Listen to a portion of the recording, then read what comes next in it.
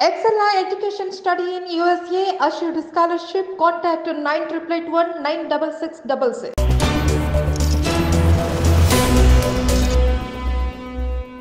తెలుగుదేశం భారతీయ జనతా పార్టీలతో పొత్తు సంగతి ఎట్లా ఉన్నప్పటికీ జనసేన పార్టీ అధ్యక్షుడు పవన్ కళ్యాణ్ మాత్రం తన మటుకు తాను తనకు తానుగా కొన్ని అసెంబ్లీ సెగ్మెంట్లలో పార్లమెంట్ సెగ్మెంట్లలో తమ పార్టీ అభ్యర్థులను ఖరారు చేసేస్తున్నట్టుగా తెలుస్తోంది అంటే వాళ్ళను మీరు పనిచేసేసుకోండి ఇంకా మీకే టికెట్ ఇస్తున్నాము అని చెప్పేసినట్టుగా కూడా తెలుస్తుంది.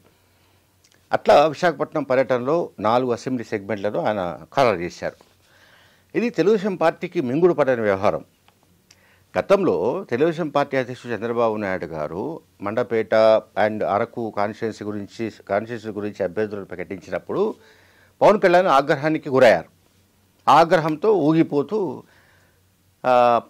మా పైన కూడా ఒత్తిడి ఉంటుంది. కనుక నేను కూడా రెండు నియోజకవర్గాలు ప్రకటిస్తున్నాను రాజూరు రాజనగరం రెండు కాన్స్టిట్యున్సీని ప్రకటించారు. ఆ రెండు ఉమ్మడి తూర్పుగోదావరి జిల్లాలో ఉన్నాయి. ఇప్పుడు తాజాగా వైజాగ్ పర్యటనలో విశాఖ ఉమ్మడి విశాఖపట్నం జిల్లాకు విషయానికి వస్తే అక్కడ పదిహేను ఉన్నాయి మొత్తం సెగ్మెంట్స్. ఆ పదిహేనులో పవన్ కళ్యాణ్ గారు కనీసం ఆరు నుంచి ఎనిమిది సీట్లు డిమాండ్ చేస్తున్నట్టు సమాచారం అందుతోంది. ఇందులో నాలుగు కాన్స్టిట్యున్సీస్ని ఒక పార్లమెంటు సీటుకు ఆల్రెడీ అభ్యర్థిని ఖరారు చేశాడు ఆయన. ఈ నాలుగు ఒక ఒకసారి నేను చెప్తాను. వైసీపీ ఎమ్మెల్సీగా పని పని పనిచేస్తూ ఆ ప- ఆ పదవిలో ఉన్న వంశీకృష్ణ శ్రీనివాస్ యాదవ్. వంశీకృష్ణ శ్రీనివాస్ యాదవ్ వైసీపీ ఎమ్మెల్సీగా ఉంటూ ఆయన జనసేన పార్టీలో చేరారు. సో ఆయనకు భీమిలి ఖరారు చేసినట్టుగా తెలుస్తుంది. అంటే భీముని పట్టం అంటాం భీములి భీమిలి కాన్స్టిట్యున్సీ.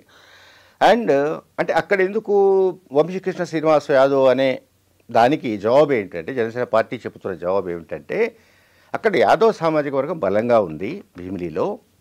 అలాగే కాపు సామాజిక వర్గం కూడా సపోర్ట్ చేస్తే ఆయన గెలవడం సులభం అవుతుందన్నది వాళ్ళ వాదన అంటే వాళ్ళ అంచనా.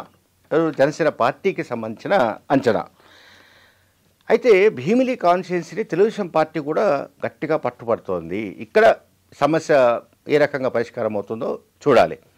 అలాగే గాజువాక నుంచి సుందరపు సతీష్ను కన్ఫర్మ్ చేశారు. సో సుందరపు సతీష్ ఈ మధ్యనే అంటే మొన్న డిసెంబర్లోనే జనసేన పార్టీలో చేరినట్టు తెలుస్తోంది. సో ఆయనకు అక్కడి నుంచి సీటు కన్ఫర్మ్ చేశారు. ఎక్కడి నుంచి? గాజువాక నుంచి. కానీ గాజువాక నుంచి ఇదే జనసేన పార్టీకి సంబంధించిన చాలామంది ఆ టికెట్ కోసం ప్రయత్నిస్తున్నారు. ఎందుకంటే రెండు వేల పంతొమ్మిదిలో పవన్ కళ్యాణ్ గారు గాజువాకతో పాటు భీమవరం కూడా పోటీ చేసే విషయం మనకు తెలుసు. ఆ రెండు చోట్ల కూడా ఆయన ఓటమి పాలయ్యారు. కానీ గాజువాకలో పవన్ కళ్యాణ్కి అభిమానులు ఉన్నారనో లేకుంటే అదొక ఇండస్ట్రియల్ ఏరియా అనో అర్బన్ ప్రాంతంగా ఉన్న కారణంగానో పవన్ కళ్యాణ్ ఇమేజ్ ఫ్యాక్టర్ కావచ్చు. గతంలో పవన్ కళ్యాణ్ గారు అక్కడి నుంచి ఓడిపోయిన కారణంగా వచ్చే సానుభూతి కారణంగానో మొత్తం మీద అయితే అక్కడ జనసేన పార్టీ గెలుస్తుందన్న ఉద్దేశంతో కొంతమంది జనసేన పార్టీ నాయకులు ఆ టికెట్పై ఆశలు పెట్టుకున్నారు. కానీ పవన్ కళ్యాణ్ గారు మాత్రం సుందరం సతీష్ను కన్ఫర్మ్ చేసినట్టుగా మనకు తెలుస్తోంది. ఇక తర్వాత పెందుర్తి విషయం మనం డిస్కస్ కూడా చేశాం ఇంతకుముందు. పంచకర్ల రమేష్ బాబు. సో పంచకర్ల రమేష్ బాబుకు టికెట్ ఆల్మోస్ట్ పవన్ కళ్యాణ్ గారు చెప్పేసినట్టు తెలుస్తోంది. ఆయనకి కన్ఫర్మ్ చేసినట్టుగా తెలుస్తోంది. కానీ పెందుర్తి కాన్స్టిట్యున్సీకి సంబంధించి తెలుగుదేశం పార్టీ మాజీ మంత్రి బండారు సత్యనారాయణమూర్తి ఆ ఆ టికెట్కు పట్టుబడుతున్నారు. మరి ఆయన ఒకవేళ అంటే ఇదే నిజమైతే జనసేన పార్టీకే పెందుర్తి కేటాయించినట్లయితే బండారు సత్యనారాయణమూర్తి రాజకీయ భవిష్యత్తు ప్రశ్నార్థకంలో పడే అవకాశం ఉంది. కనుక బండారు సత్యనారాయణమూర్తి పొలిటికల్ ఏమంటాం రాజకీయ పంధ ఎట్లా ఉండబోతుంది ఎటువంటి వైఖరి ఆయన తీసుకుపోతున్నాడు ఎటువంటి నిర్ణయం తీసుకుపోతున్నాడు అనేది మనకు మరి కొద్ది రోజుల్లోనే తెలిసే అవకాశం ఉంటుంది. అట్లాగే ఇలమంచిలి విషయానికి వస్తే ఇలమంచిలి అసెంబ్లీ సెగ్మెంట్కు సుందరపు విజయ్ కుమార్ను కన్ఫర్మ్ చేశారు. సరే సుందరపు విజయ్ కుమార్ విషయంలో అభ్యర్థిత్వ విషయంలో ఎవరికి అబ్జెక్షన్ ఉండే అవకాశం లేదు. ఎందుకంటే ఆయన జనసేన పార్టీ లో చాలా కాలంగా ఆ కాన్షియన్స్ ఇన్ఛార్జ్గా పనిచేస్తున్నారు. ఆ పార్టీ అధికార ప్రతినిధిగా కూడా ప్రతిరోజు టీవీ ఛానళ్ళలో ఇతర మాధ్యమాల్లో సుధర విజయ్ కుమార్ కనిపిస్తున్నారు. ఆయన ఒక పాపులర్ వ్యక్తి. కనుక ఆయనకు ఛాన్సు అంటే ఆయనకి టికెట్ ఇచ్చే విషయంలో పెద్దగా వ్యతిరేకత వచ్చే అవకాశం లేదు ఈవెన్ టీడీపీ నుంచి కూడా.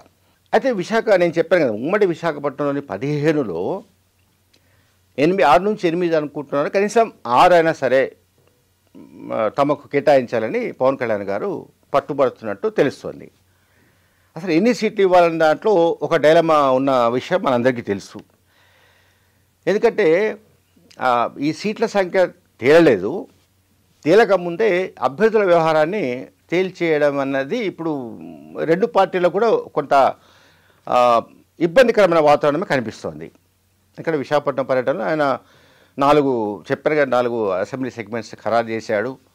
అలాగే అనకాపల్లి పార్లమెంటు నుంచి తన సోదరుడు నాగబాబు పోటీ చేస్తున్నట్టుగా కూడా ఆయన చెప్పినట్లు తెలుస్తోంది. ఇవి కాకుండా అనకాపల్లి అసెంబ్లీ అలాగే Chodavaram Visakha north or Visakha south ఈ రెండిట్లో ఏదో ఒకటి విశాఖ దక్షిణ కావచ్చు విశాఖ ఉత్తర కావచ్చు ఈ రెండిట్లో ఏదో ఒక కాన్స్టిట్యున్సీ. అంటే పైన చెప్పిన మీకు ఆల్రెడీ చెప్పిన పెందుర్తి అండ్ గాజువాక భీమిలి ఈ కాన్షియన్స్తో పాటు ఈ మిగతా అనకాపల్లి చోడవరం విశాఖ సిటీలోని ఒక కాన్స్టిట్యున్సీ సో మొత్తంగా ఆరు నుంచి ఏడు సీట్లు గ్యారంటీగా తమకు కేటాయించాలని పవన్ కళ్యాణ్ కోరుతున్నారు.